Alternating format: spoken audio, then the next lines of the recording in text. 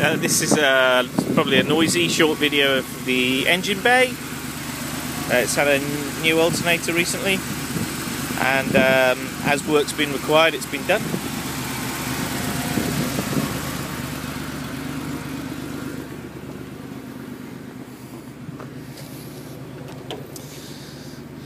There's under the bonnet.